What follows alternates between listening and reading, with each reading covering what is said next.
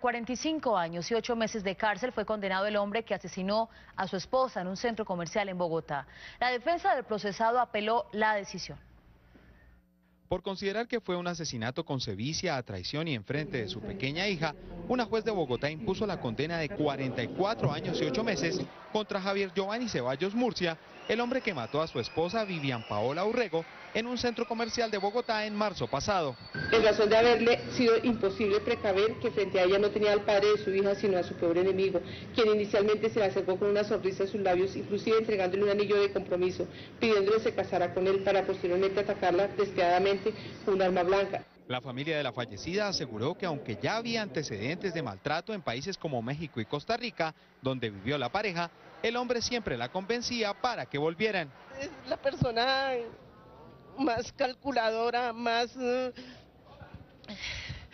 más eh, manipuladora, mm, con mentiras, con engaños, siempre, siempre convenció a Vivi. También la sentencia señala que el condenado no tendrá derecho a la patria potestad de la niña durante 15 años.